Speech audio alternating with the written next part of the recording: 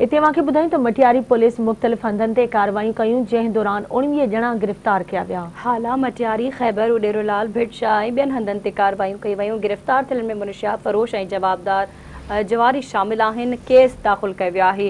اهم خبر آهي مٽياري پوليس جون مختلف هنڌن تي ڪاروايون ا، جنهن دوران اڻويهه ڄڻا گرفتار ڪيا ويا. هالا مٽياري خيبر اڏيرولال भिट शाह ऐं ॿियनि हंधनि ते कार्रवायूं कयूं गिरफ़्तार थियल में मनुष्यात फ़रोश ऐं जुवारी शामिल केस दाख़िल कयो